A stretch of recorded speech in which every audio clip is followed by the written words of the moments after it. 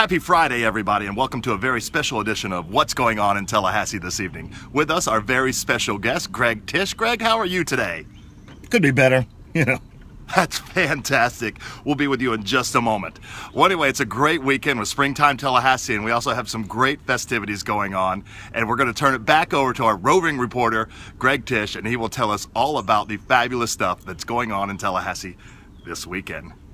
Greg? Thank you, Greg. Hey, tonight at Krewe de Gras, we've got a great special going on. It is Free Beer Friday. Have a tab open before 10 p.m. and from 12 to 1, I don't know why I stuttered.